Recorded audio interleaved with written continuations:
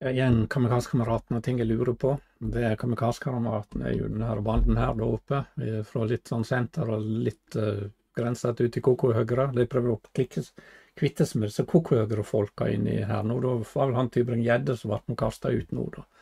Så de prøver jo også å bli et mer seriøst parti, da. Men uansett så er det Høyre-parti. Og det her er to økonomer altså vi ser på. Det her er John Maynard Keynes og det her er Milton Friedman. Og de er veldig glad i han til høyre her, men de mener dette tankegodset han her, det er mye, mye bedre enn han er. Selv om det tankegodset til han her har ført til et utall krasj, økonomisk katastrofe og boble og styr og stell, og så må det offentlig inn med tankegods til han her, og så opp etter dette her. Eh, kanskje en skulle prøve noe sånn litt Eh, innimellom her, da, at vi kan bruke lite grann av tankegodset hans, og kanskje litt mer hans, sånn som vi faktisk gjør her i landet. Men nå skal en være klar over det at uh, her er det faktisk noen som kanskje ønsker mer av dette her.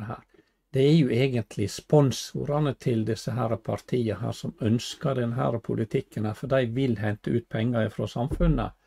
Og så spørs det da om et samfunn skal være til for alle de svakeste, og egentlig litt for alle, om det er, blir et bra samfunn her, der du egentlig bør overføre alle midlene til et fåtall i samfunnet. Det veit en ikke.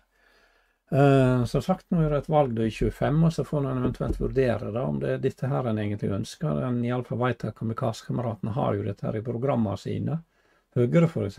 skjuler jo, skuler jo, eller skjeler jo da til republikanerne i USA og hvis ikke det er koko Høyre, så veit ikke jeg. Så det burde de kanskje slutte med. Og så skjele til hva de driver med der borte. For det samfunnet er så lagdelt og, stor forskjell mellom fattig og rik at jeg tror neppe vi ønsker oss dit, men det er iallfall dit de ønsker oss.